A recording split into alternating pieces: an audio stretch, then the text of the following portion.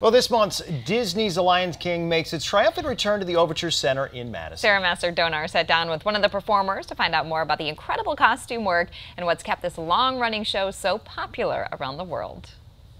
I'm joined by performer Lyric Dene, who is making her debut in the Pride Lands. Lyric, thanks for joining us.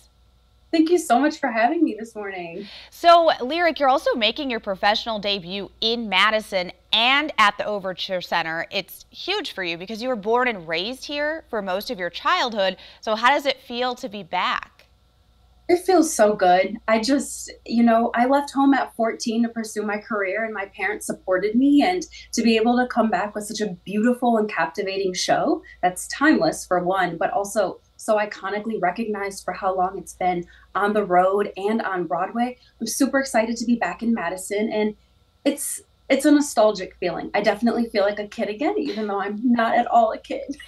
Well, do you feel like when people go and see this show, they're familiar, maybe, of course, with the Disney cartoon, but do you think there is a sense of nostalgia for people going to see this musical?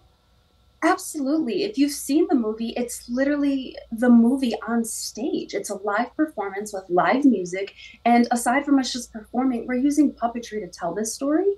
And I think it's just the nostalgic idea of no matter what age you are, you're always going to go through those trials and tribulations of life, but you're always going to have your family and your friends with you. And that's basically the story of Lion King. Mm-hmm. And everyone experiences that no matter how old they are. I love that message, but you mentioned the puppetry in the show lyric, and I wanted to ask about that because I love it. The costumes are my favorite part. I love kind of being able to see the performers as the human and the animal at the same time. And so I'd love to hear from you, what's it like to wear these costumes night after night? I mean, are they heavy? Are they tough to deal with?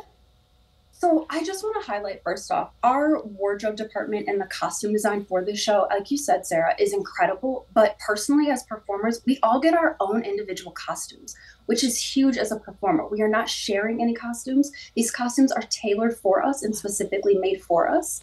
And the puppetry within itself, it's not heavy, but you're not yourself while you're in it. You're taking on a whole different character, which is something you definitely have to study. So, for my preparation in the show, I definitely watched a lot of lions, mm-hmm. how they moved. I watched hyenas, how they hunt, just their stature and their shoulders.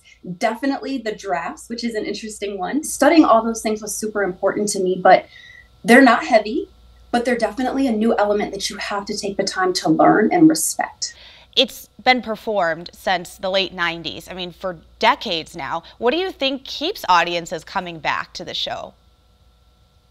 You know, aside from the music and aside from the puppetry and the costumes, it's that story. It's the idea that no matter how old you are, you're always going to go through hard times and you're always going to have those learning moments that aren't always so positive. But you have to have those in life in order to grow and become a better person and to figure out who you are as a person. So I think that's what's most captivating for people, and that's what keeps bringing them back. Well, Lyric, thank you so much for being with us. Welcome back to Madison and break thank a leg you. in the show. Thank you so much.